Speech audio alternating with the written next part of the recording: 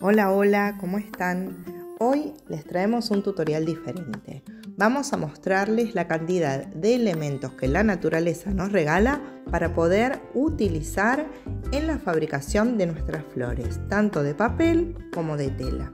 Si te quedas en este primer video vas a ver todos pistilos hechos con elementos naturales.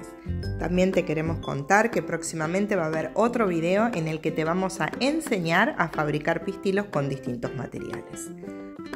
Una de las más utilizadas en la fabricación de flores de tela son las florcitas secas. Estas se utilizan generalmente como pistilos porque son muy fáciles de conseguir y además las encontramos en distintos colores y si no también se pueden teñir.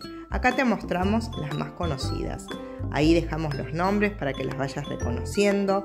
Algunas están en su color natural y otras tienen algún tinte.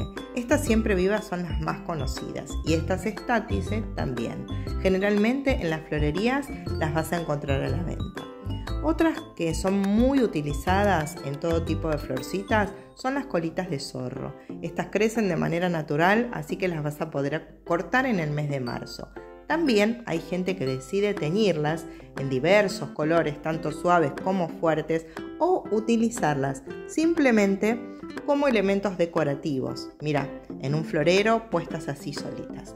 Pero como centro de flor o pistilo te las súper recomendamos porque quedan muy bonitas. Al final del video vas a ver cómo están utilizadas en distintas flores.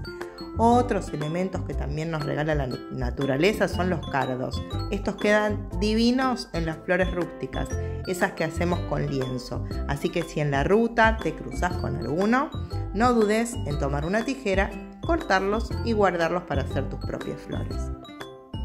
Ahora te vamos a contar una de nuestras favoritas. Estas plantas las tenemos en muchos jardines y se llaman agapanthus.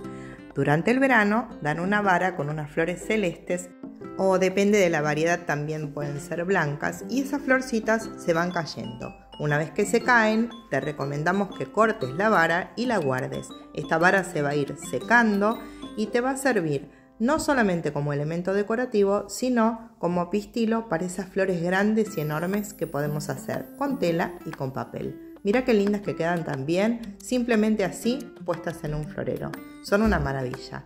Mucha gente también decide teñirlas o pintarlas con aerosol para después utilizarlas como pistilo. Y ahora hablemos del liquid ámbar, este árbol que va cambiando de color, y además de ser un regalo para la vista, nos da unos frutos súper útiles a la hora de hacer flores y alguna otra cantidad de artesanías también. Sí, míralos, los reconoces, nosotros los usamos mucho. Ahí están secos, ahora te muestro cómo lucen en la misma planta. Primero el fruto es durito y verde. Queda colgando así como si fueran bolitas navideñas del árbol y una vez que cae ya está seco. Nosotros lo utilizamos mucho para los adornitos navideños, lo pintamos con aerosol.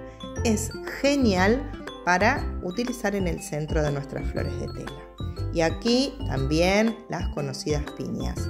Vamos a encontrar en nuestros campos piñas de todos tamaños y colores. Siempre es útil recolectarlas porque quedan muy pero muy bien en el centro de nuestras flores rústicas. Otros objetos que la naturaleza nos regala son las bellotas o las semillas. En este caso, estas son de un roble. Eh, quedan fantásticas si unís dos o tres y las pegás como centro en cada una de las flores. Cada vez que encuentres alguna hojita seca, alguna semilla o algún fruto, no te olvides de recolectarlos y guardarlos limpios en alguna caja porque seguramente te van a ser de utilidad a la hora de armar flores.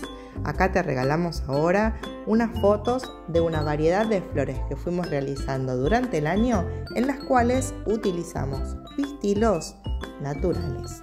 Y mientras vos miras todas estas flores, te contamos que no te pierdas el próximo tutorial que vamos a realizar sobre pistilos porque te vamos a enseñar a fabricarlos en distintos materiales para que nunca te quedes sin ideas para realizar tus flores.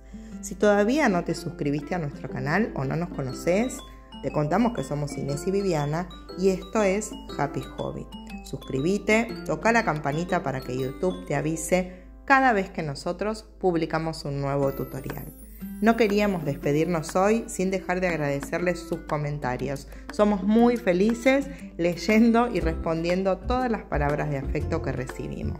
Esperamos que hayan comenzado un año lleno de felicidad, cariño y amor. Nos vemos pronto en el próximo video. Los dejamos disfrutando de estas imágenes y les agradecemos por quedarse y mirar el video hasta el final. Bye bye.